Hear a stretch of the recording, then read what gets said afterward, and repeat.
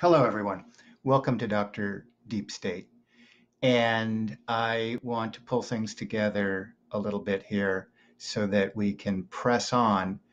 And I, again, began this whole operation, I called a course, um, with the intent of helping us figure out what's going on in the world today.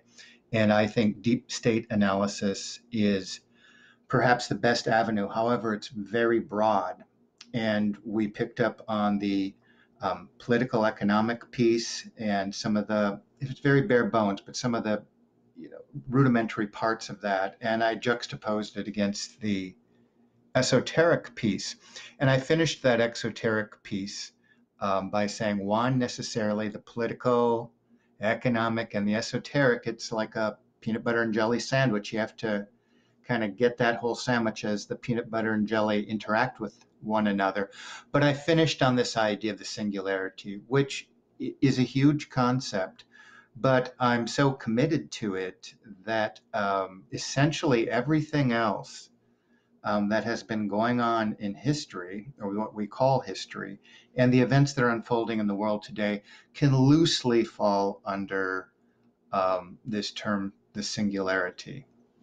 Um, but I'm going to continue this course. And the reason it's structured as a course is because I know that people don't go to the internet and look for information this way. We like snippets. We tend to like shorter pieces. Sometimes we'll stay with a documentary or we find people we like and we follow them. But I wanted to establish each of the pieces in the literature.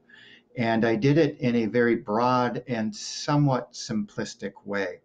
And I'm taking this sort of to another another level in terms of the design of the course. There's going to be the broad outline that I'm going to explain, and then I'm going to have a second tier of people that want to go deeper into it and have a more personal interaction, which uh, may take some time to come. But at this moment, uh, I'm going to get on defining terms and looking at source material that we will be, go- be going over for quite a time to come. And I think I could essentially call this bit of the information.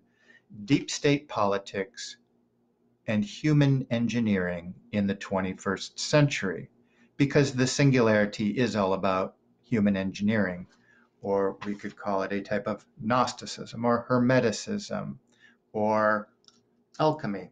They're all interconnected and work alchemically to create this final project which is a an engineered human. Why are we being engineered um, to what end? Well, the end is the singularity, and we dug into that a little bit.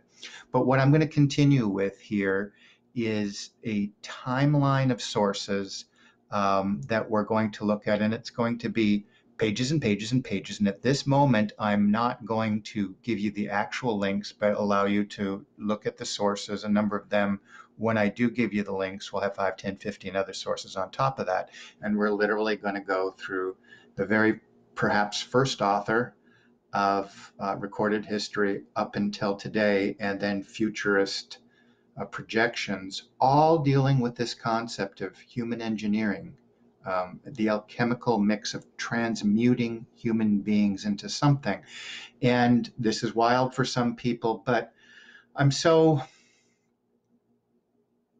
When I look at information that is available out there, I'm so committed to this concept that I feel if people aren't talking about specifically this concept and how everything else that matters in history or that's going on today is not connected to this specific project of hum- the human singularity, a particular mode of human transmutation, that they're essentially, as I said from the beginning, a sort of limited hangout. They're talking about different things, might be entertaining, might be amusing,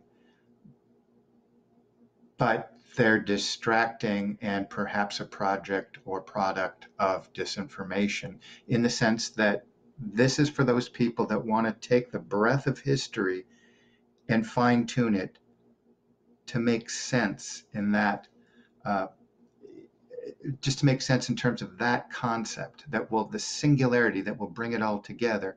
And i know these are you know, esoteric concepts, you know, like reverse engineering and competing narratives and competing prophetic texts. But hang with me